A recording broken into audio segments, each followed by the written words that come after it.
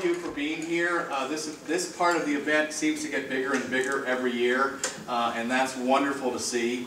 Um, kind of a realization that I came to in the last couple of weeks are we are a tiny little community, but if you look at many things that they look at for communities per capita, we are probably one of the largest art communities in California, certainly in Southern California per capita. When you figure how many artists we have, how many art events that we have, and what a saturation of the arts exists on this hill. So, thank you for being a part of that, and thank you for being here tonight. Can everyone hear me? Yep. Yes. Okay. you stay after school. Um, I have, a, I have a prepared introduction that I've been given for Faryad, and then I'm going to go off the cuff just for a couple seconds afterwards. Um, Faryad's passion for painting began when he was a young boy. He hosted his first exhibition with 36 paintings when he was just 12 years old, and he hasn't put the brush down since. He grew up painting the beaches, people, and rainforests of his home, the Caribbean island of Trinidad. This established the foundation for Faryad to develop his skills as an artist. Faryad left Trinidad when he was awarded an art scholarship to Syracuse University in New York. After two years, he dropped out and bounced around to different schools while constantly honing his craft. His greatest education came from painting on the streets of Los Angeles. Faryad sold his wildland images to everybody he met, the rich, the poor, and the indifferent. He feels privileged to have made a living as an artist and has won numerous accolades for his work. Faryad now spends most of his time at the Parrish Pioneer Ranch in the San Bernardino, Bernardino Mountains of California. He paints the people, the places, and the things he sees in Oak Glen, California, where his gallery is located. As you will see during tonight's presentation, Faryad tries to expose the image with deliberate and rhythmic brushwork and a mesh of thick and thin paint to try and capture the life and feeling of what he is seeing. As the winner of multiple Idyllwild Plein Air festivals, including last year's event, and our 2013 Artist of the Year, it is my pleasure to introduce Faryad. With that aside, I have to throw in my own two cents because we have known Faryad and Jennifer, his wife Jennifer for about six years now. We stumbled into their gallery in Oak Glen, saw their work, realized, oh my God, this has to be an Idyllwild. Uh, and over time gradually convinced them to let us show a few pieces of their work. I think we originally had six pieces. Now we probably have upwards of 30, maybe probably between 30 and 40 pieces.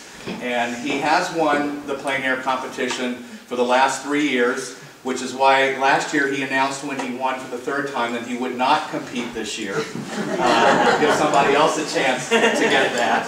Um, but he did offer to come back and spend the evening with us and show us some of, of his little tips and maybe a couple secrets. Uh, it has been a pleasure watching him develop too because in the six years that we've known him, his style has changed dramatically uh, as he is evolving as an artist, which goes to show you that you never stop learning uh, and you never stop changing.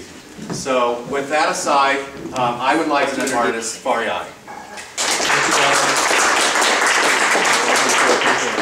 Thank you, Paint. You don't know how to use your brush? It's as bad as don't know how to paint. So I'm kind of playing again, kind of watching my composition here. I'm thinking, boom, boom, boom, boom. So I'm thinking with my eye, and I'm putting it in. So I think I got, I think I got it. I think this probably can work. It's probably gonna work. I think my lines might be okay. I could be wrong on the chip.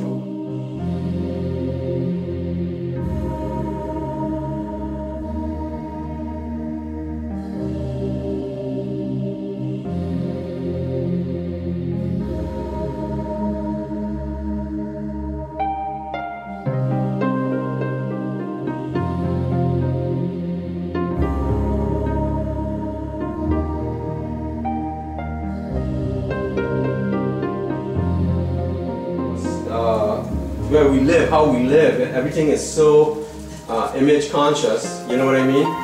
Um, that we're different impressionists today.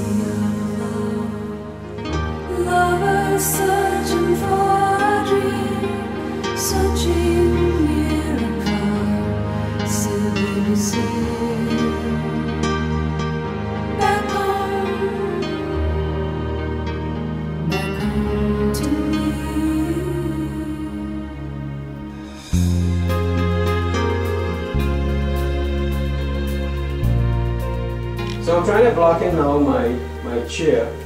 And I'm basically just trying to get shapes going.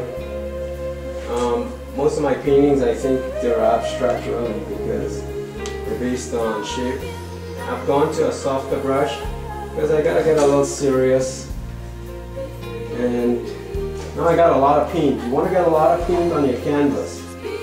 Tomorrow when you go paint, those guys who are going out, you wanna get a lot of paint on your canvas because now you can, now it's painting. You know, before it was uh, blocking it. Now it's painting. So you get a lot of paint on your canvas and you can go in on it now and design the image the way you want it, you like to see it. So I'm trying to set up my chair. Uh, one of the biggest things too is squinting. Uh, when somebody says you have to see like an artist sees, um, an artist squints. That's why the Chinese painters are so good. Stop. That's why they're so good. Because they're born that way. You know? The rest of us They're- gotta squint. But squinting is a big part of, uh, of Funny doing it. guy. If you didn't know that the Chinese painters in America are really taking America by storm. Some of the best artists like Mian Situ. They are Russian influence. Russian Impressionism is some of the greatest impressionism on the planet. And these guys, like me, and uh, trained under those people, went to those schools. So it's, uh, I know we think of Russia and all the bad things that came out of there, but well, see, what there's always some good thing everywhere. I feel like, I feel like the world loses something. But you have to become a real artist, you have to. That's why I don't judge shows. No disrespect to judges, but that's why I don't judge shows. I believe in the people. I painted in front of the people for many years. I still do with YouTube. But I believe in people. And I, I just painted in the street, whatever it takes, whatever, I paint anything. There's times when I say when I'm doing so many pet portraits, I go, well, painting's gone to the, dog. or- or-